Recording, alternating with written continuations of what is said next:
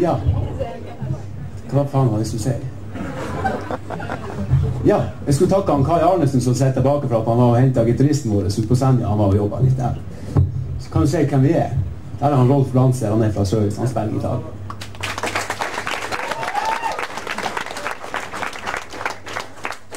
Og eh, bak trommen sitter han Ove Ringstad fra Finnsnes.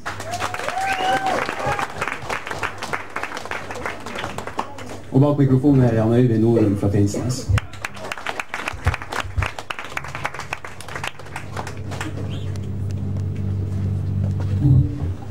Ja. Neste nummer ut, det er Jeg er en torsk.